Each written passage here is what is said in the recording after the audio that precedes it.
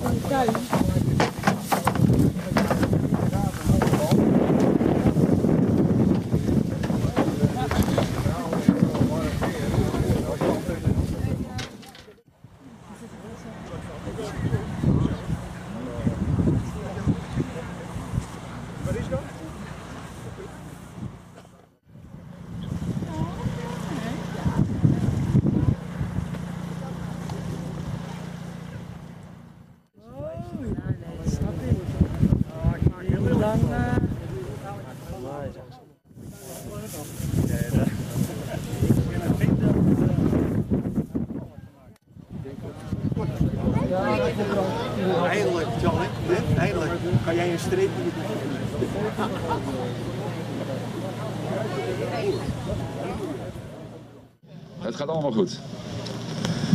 Beste mensen, goedemorgen allemaal. Welkom. Uh, mijn naam is uh, Jaap Bond. Ik ben uh, gedeputeerde van de provincie Noord-Holland. ik heb economische zaken, ik heb toerisme en eigenlijk is dat de link met waarom ik hier sta vanmorgen.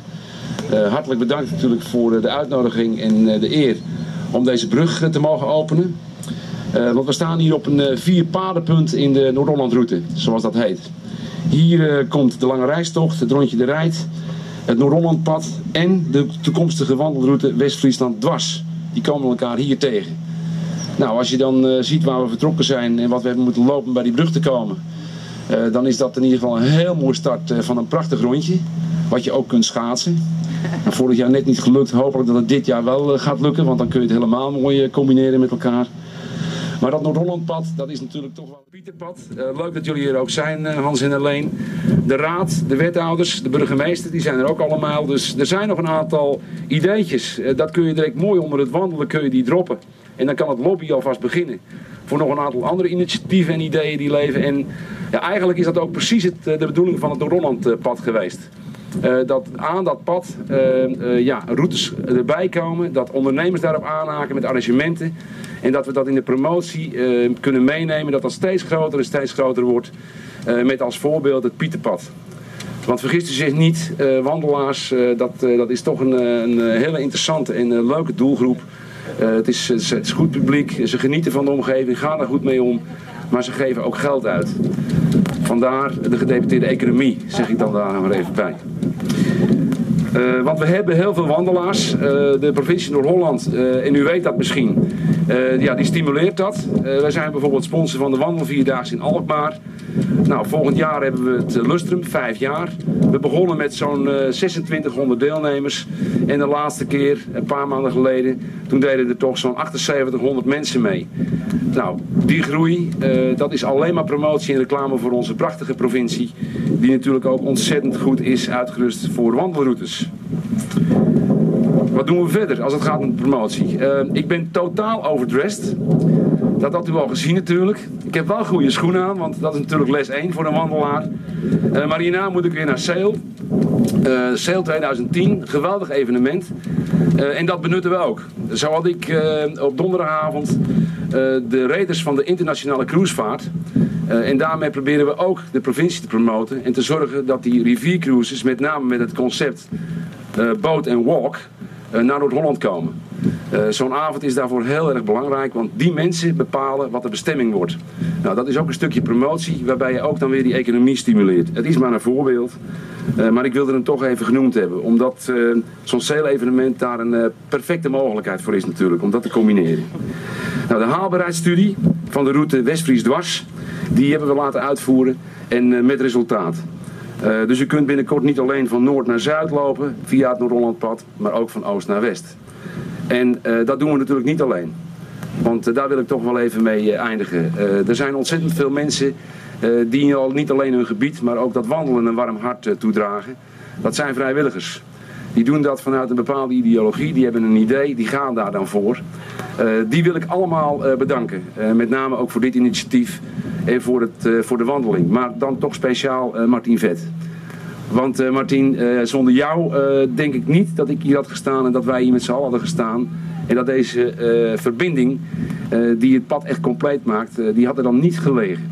Dus alle vrijwilligers, maar toch vooral jij heel erg bedankt voor je inzet. En nou, we hebben elkaar al gesproken en ik hoor ook dat bij jou de ideeën ook nog bruisen. En uh, nou, ik, uh, ik wens vooral de omgeving, maar ook Noord-Holland en ook jou toe dat dat gaat lukken. dus start zometeen met je lobbywerk bij de raadsleden, de wethouder en de burgemeester zou ik zeggen. En veel succes daarmee. Ik, ik ga nu de brug openen. En dan normaal gesproken mag je dan in één keer erover, maar dat is nu even anders. want na mij wil wethouder Van Dijk nog het een en ander zeggen. En ik heb begrepen dat uh, als wij dan klaar zijn, de bestuurders, dat Martin een beetje het, uh, de zeven is om te kijken of we niets vergeten uh, zijn. En die wil dan even afsluiten. maar ik ga de brug officieel openen. En de wethouder Van Dijk die gaat daarna nog iets doen. En dat heeft te maken met de naam en alles. Maar dat hoort u zo. Dus nou, dan mag je hier, dat gaan we doen. Knippen? Ja. Zullen we even samen aftellen, anders dat vind ik wel leuk. Want dan weet ik waar de knippen moet. Zullen we samen aftellen dat we gewoon beginnen op vijf, niet te lang? Vijf, vier, drie, twee, één,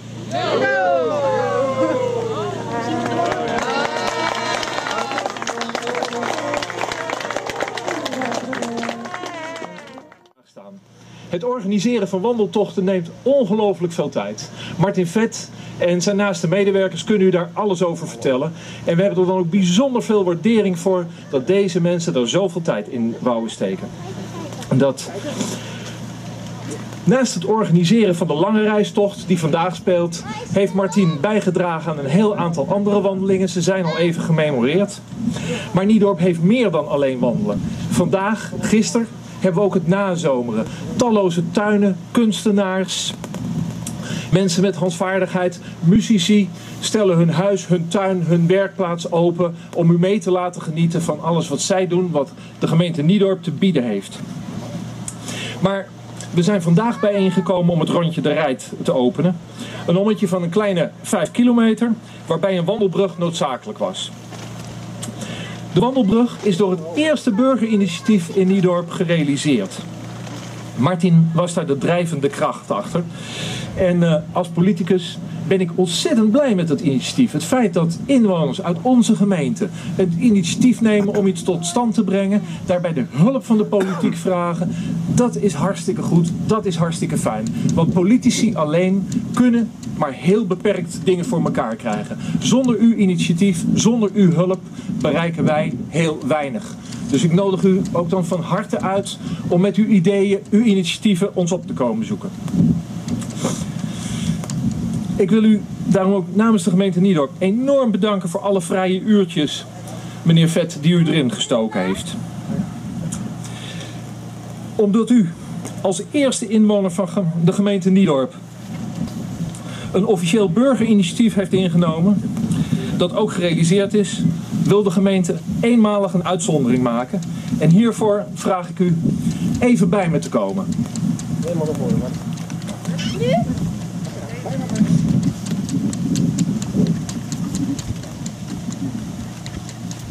Naast Martin ziet u ook mijn eh, medewerker Laura Pronk naar boven komen, communicatiemedewerker die vanuit de gemeente de organisatie heeft gedaan. En te vaak. Alsjeblieft. Dankjewel.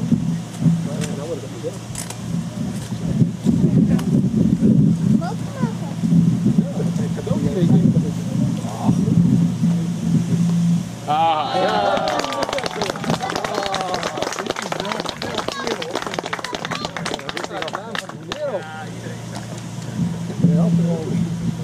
ja. Martin nog? Martin. Martin hoger. Ja. Kijk maar wat er staat. De provincie die eh, heeft uh, op dit moment op hun website een aardig artikeltje staan. En dat heet drie vliegen in één klap. En dit is de klap waar u allemaal getuige van is. Een andere klap is dat het Noord-Hollandpad in kwalitatieve zin wat verbeterd wordt met deze route. En een andere klap is West-Friesland dwars. En West-Friesland dwars is een initiatief van de voetleden om dwars door West-Friesland een mooi boerenlandpad te creëren. En ik ben ook heel blij dat de provincie dat heeft opgenomen en uh, dat dat tot een goed resultaat gaat leiden. Uh, ik wil even opmerken dat leden van Te Voet die zich inspannen voor dit soort wegen, zijn nu ook bezig om die wandelroute door Noord-Holland een extensie te geven. Door Friesland, Groningen en Drenthe. Daardoor is het zogenaamde Leeuwarden-overleg gestart. En dat betekent dat we over een paar jaar, net als het Pieterpad, een ander mooi pad hebben. Wat loopt van Bergen aan Zee naar Enkhuizen, Staveren, door die provincies aansluitend op een internationale wandelroute in Leer. Dat zijn de huidige plannen. Dat doe je niet zomaar. En daar wil ik toch ook even mijn te voetvrienden voor bedanken. En ook de mensen van de provincie die mensen van te voet weer in de gelegenheid gaven om in netwerkcircuits operatief te zijn. Met name meneer Schipper, meneer Bond en anderen, daar ben ik heel blij mee. Het leuke is, het belangrijke, dit, dit traject is heel leuk, dit rondje. Maar West-Friesland dwars, dat wordt, dat wordt hoe zeg je dat? Juist. Nou, uh, dat betekent dat uh, ik, ik hoop dat dat straks gerealiseerd gaat worden.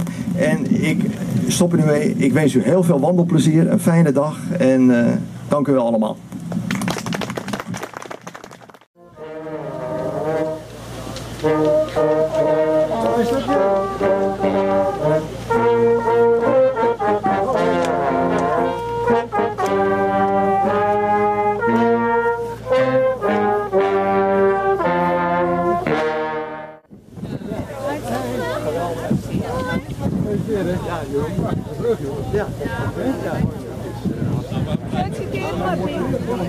Jullie moeten, ik bedoel, jullie gaan mij onderzoeken. ik heb alleen een beetje.